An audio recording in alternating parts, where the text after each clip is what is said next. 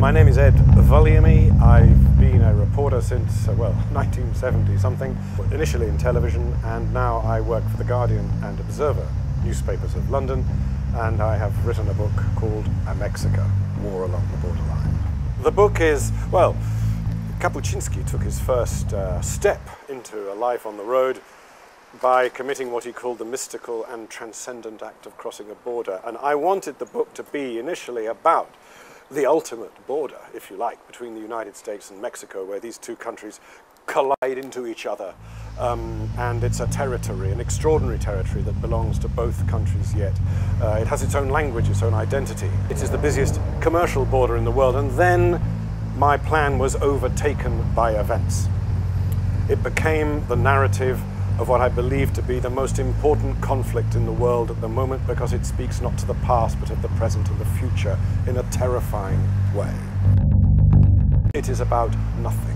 Nobody can take sides between the cartels. It takes place in a country that is not even technically at war, and yet more people have died there, and most of them more horribly than in any other conflict on the planet today. It's our war as much as it is Mexico. Our societies consume the drugs uh, rapaciously.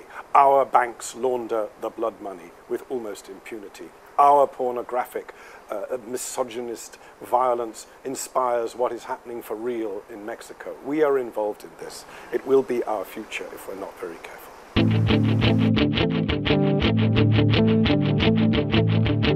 Nazywam się Janusz. Jestem tłumaczem książki Ameksyka autorstwa Eda Vulliamy'ego. Autor pisze, patrzy z tej samej perspektywy mniej więcej, co my, czyli z perspektywy Europejczyka, czyli mm, wiele rzeczy go zadziwia.